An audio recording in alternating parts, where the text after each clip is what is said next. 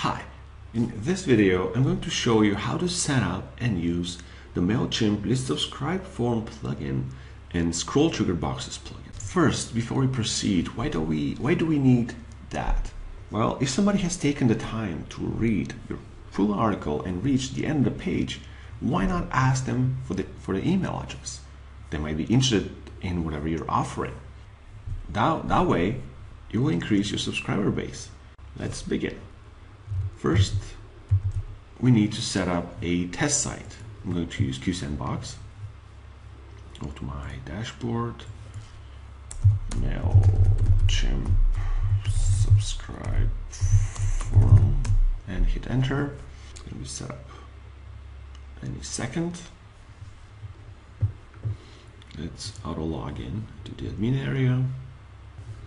The first thing is to install the scroll triggered boxes plugin. I'm going to copy and paste this name right here. Control V for Windows and Command V for paste. Let's install it and activate it. And it creates a new menu. It creates a sample box, which is nice. And there's the configuration here. Okay, the position bottom right, I like it to slide in. Draws the attention, 65% is good. You can show it immediately after loading the page. It's totally up to you. And we need to publish this box. Let's view the site in a new tab. So let's scroll down everywhere. That's good. It shows up. How nice. Okay, so the next step is to install the MailChimp add-on. Uh, plugin, I should say. MailChimp list subscribe form. Let's go to this page and again control V or command V. Install it, activate it. That is nice. Let's go to settings. There's we need to connect it. I'm going to connect right now.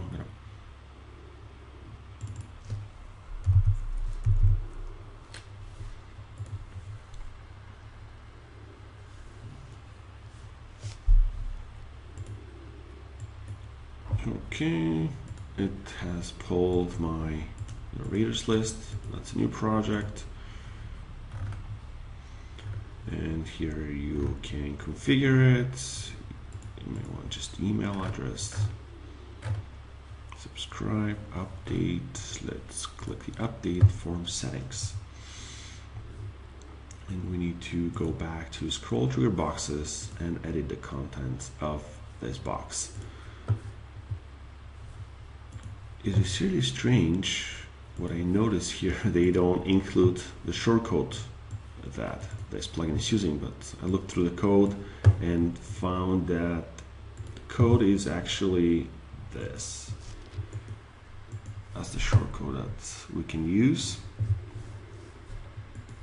I'm going to include that in, a, in an article or in the video's description. Could have the title but let's leave it as this right now. So right now I'm to switch to another tab.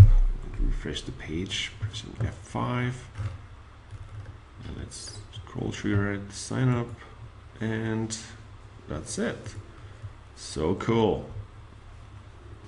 For more information and other cool stuff and plugins that you may be interested in, visit orbisius.com.